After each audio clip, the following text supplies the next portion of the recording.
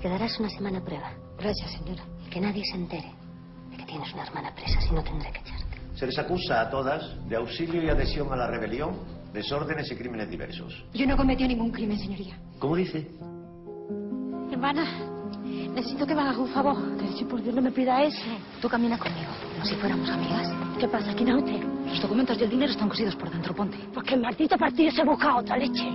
Tú eres la Pepita, ¿verdad? No mira que ustedes los comunistas soy todo uno fresco. ¿Tienes novio? Sí, estoy a hablar con uno en Córdoba. Entregue a la niña por las buenas. Si no, se la quitaremos por las malas. Tu marido y algunos más han logrado escapar. Se bajan de la sierra esta noche. ¿Cómo está, doñadita? Lucas, ¿que tú estás loco? Vemos que yo quiero que sepa que te quiero con toda mi alma. A ti no te va a ya lo verás. La policía tiene infiltrados en el partido. Yo no me fío de nadie. Nos están esperando. Que hay que irse cuanto antes. David, tú no me lo estás contando todo. Tú no me estás diciendo la verdad que te conozco. ¿Cómo se te ocurre mencionar el nombre de mi hijo una sola vez en tu puta vida? Yo mismo voy a venir a buscarte. Yo no conozco a nadie.